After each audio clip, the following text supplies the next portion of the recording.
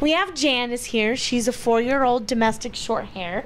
Um, she's a wonderful girl. She's very shy when you first get to know her, but once she gets to know you and warms up, she is just a doll.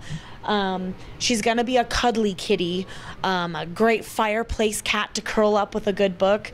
Um, she's very curious. Really a sweet cat. She's afraid of other kitties.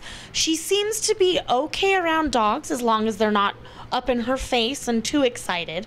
But other than that, I mean, she's just a sweetheart. Once she gets to know you, she really is just a little love bug. Um, she's spayed, up to date on all vaccinations, including deworming. Um, and she will receive a microchip before she's adopted, as well as a sample bag of food. All of that for $50. Um, well worth it. She's, again, she's a wonderful little kitty. She deserves an excellent home. She doesn't like um, real rambunctious um, kind of commotion. So a home with smaller kids probably wouldn't be the best. Um, but older kids would be fine, and like I said, she just needs time to adjust and get to know you, and then she's she's good to go. But she's a sweetheart, and she des- deserves extra love.